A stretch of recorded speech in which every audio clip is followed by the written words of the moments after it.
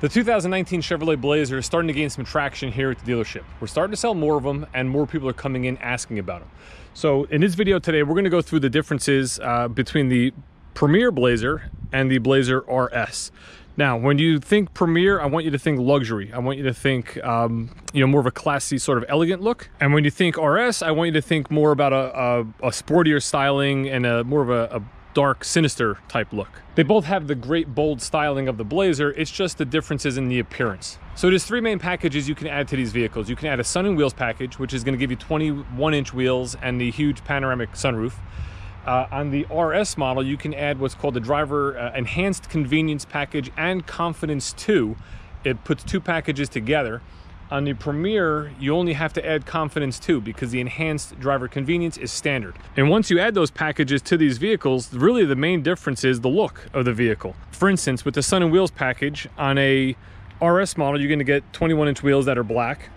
On a Premier model, you're gonna get 21 inch wheels that are like a nickel uh, silver finish. You'll notice on a Premier, everything's body color. So all the lines along the bottom the, the sides of the vehicle are all body color. You have chrome trim. You have chrome door handles, silver roof rack. Along the back bumper here, you'll see it's all, again, body color, except for the very bottom portion, which is gloss uh, painted, and it has a nice trailer hitch cover to cover that two inch receiver when you're not using it to give it a nice clean look. On the RS, everything's gonna be blacked out. So if you look, you have a dark applique to the front grille, you have black all along the bottom, all the trim. And this is all gloss black painted, a little dirty right now.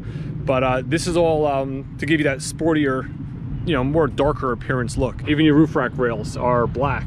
Along the back here, you'll notice the black follows straight across the back bumper. The hitch cover is a little different on the back here and your exhaust is not integrated exactly into the bumper like it is on a Premier. You'll also notice you have black emblems, where on the Premier you had chrome. The interior of the Blazer is pretty much set up like all of them, however you get a little bit more luxurious type look and feel. It's all silver trim throughout the whole interior. You have some nice stitching on, uh, on your center armrest here with suede. That same suede is in integrated into the seat itself. It's all perforated leather with some nice tan piping. When we compare that to an RS, you're gonna notice that it's all red seat trim. So behind the perforations is red. Some of the piping and the stitching is all red. Stitching on the steering wheel, on a dash.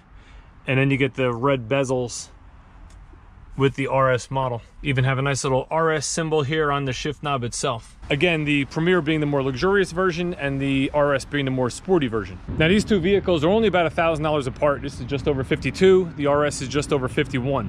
There is a little uh, additional cost on a Premier, but they're basically fully equipped the same way. So the powertrain is the same, the uh, you know all the technology on the inside is the same.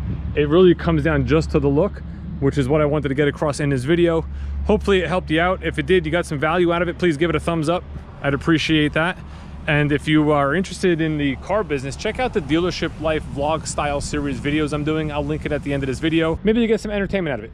Any comments, please put them down below. I'll answer them all. Have a great day.